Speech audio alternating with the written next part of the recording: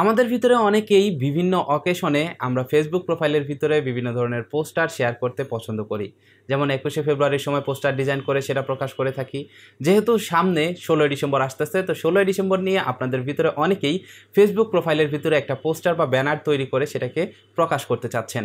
যদি আপনি একজন পলিটিক্যাল পার্সন হয়ে থাকেন অথবা সাধারণ নাগরিক যে কিনা প্রত্যেকটি অকেশনে তার ফেসবুক প্রোফাইলে একটি করে পোস্টার ডিজাইন করেন, তাদের জন্যই আজকের এই ভিডিও আজকের ভিডিওতে আমি আপনাদেরকে চমৎকার একটি ষোলোই ডিসেম্বরের পোস্টার ডিজাইন করা শিখিয়ে দিব।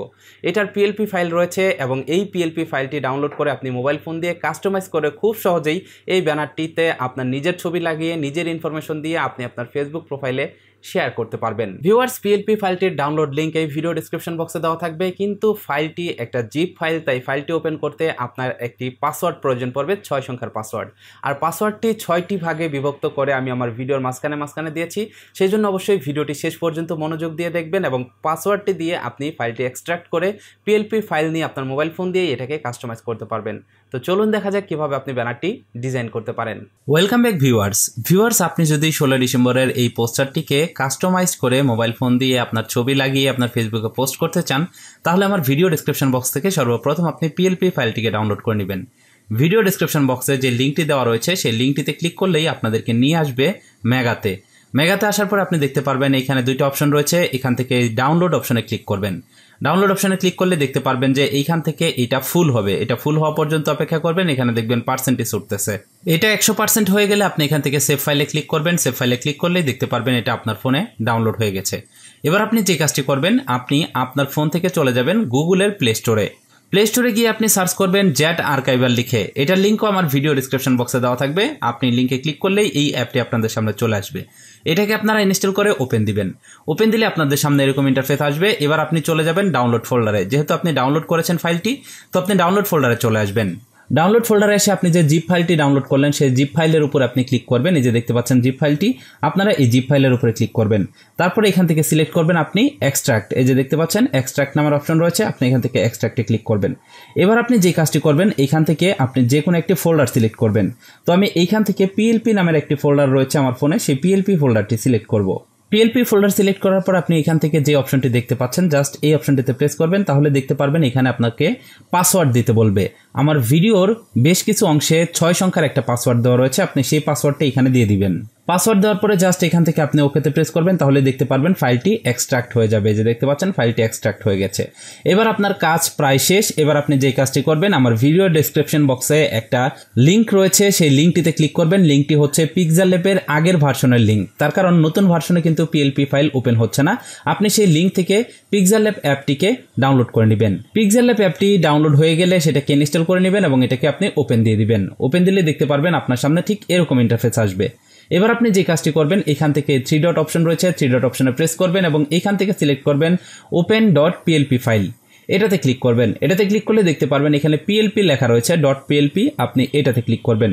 এবার আপনি সিলেক্ট করবেন আপনার সেই পিএলপি ফোল্ডারটি তো এখান থেকে আমি আমার যে পিএলপি ফোল্ডার রয়েছে সেটা সিলেক্ট করলাম। দেখতে পাচ্ছেন এখানে যে একটি পিএলপি ফাইল আপনারা পেয়ে যাচ্ছেন। এবার আপনি জাস্ট এখান থেকে এই পিএলপি ফাইলটির উপরে ক্লিক করবেন এবং ওপেন অ্যান্ড অ্যাড এই অপশনটিতে প্রেস করবেন। এখানে প্রেস করলে দেখতে পারবেন যে আপনাদের সামনে এরকম ইন্টারফেস আসবে। আপনি জাস্ট ব্যাক অপশনে প্রেস করবেন। দেখতে পারবেন আপনাদের সামনে সেই পোস্টারটি ওপেন হয়ে যাবে। এবার আপনি যে কাজটি করবেন, এইখান থেকে যে দেখতে পাচ্ছেন একটা লেয়ার অপশন রয়েছে। লেয়ার অপশনে প্রেস করবেন। লেয়ার অপশনে প্রেস করার পরে এখান থেকে সিলেক্ট করবেন যে ছবি কোথায় রয়েছে। এই যে দেখতে পাচ্ছেন ছবি রয়েছে। এই ছবিটিকে আপনি এখান থেকে ডিলিট করে দিবেন।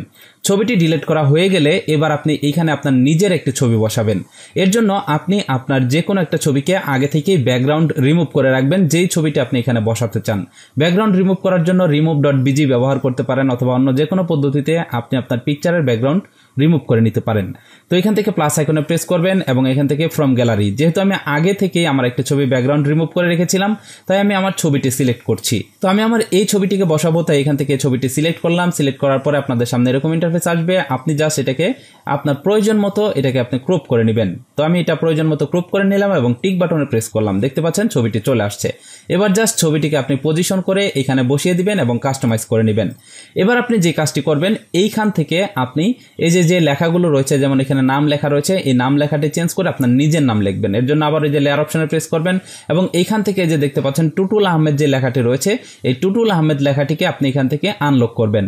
আনলক করার পরে আপনি এখান থেকে আবারও লেয়ার অপশনে প্রেস করবেন এবং এখান থেকে এই যে লেয়ার রয়েছে, টুটুল আহমেদ লেখা, এই লেখার উপরে ক্লিক করবেন। ক্লিক করলে দেখতে পারবেন এখানে আপনাদের সামনে এরকম ইন্টারফেস চলে আসবে। এখানে আপনি আপনার নিজের নামটি লিখে দিবেন। তো এখানে আমি আমার নামটি লিখে দিলাম, দেখতে পাচ্ছেন আমার নাম চলে আসছে। ঠিক এইভাবে আপনি এটাকে প্রত্যেকটি লেখা এখান থেকে কাস্টমাইজ করতে পারবেন। এইখানে আপনার পছন্দ মতো সকল কিছু আপনি কাস্টমাইজ করে সেটাকে আপনি চাইলে এখান থেকে লক করে দিতে পারেন। এখান থেকে লক করে দিলেই এই লেয়ারটি আর নড়বে না। এই লেয়ারটি ফিক্সড হয়ে যাবে।